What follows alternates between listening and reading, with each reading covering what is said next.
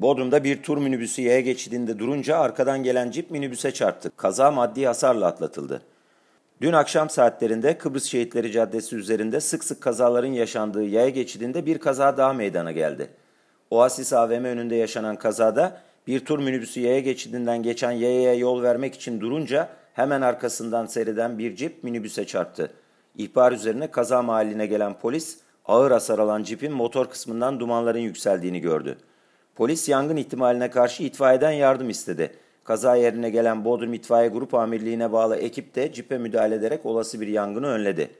Maddi hasarla atlatılan kaza ile ilgili polis inceleme yaptı.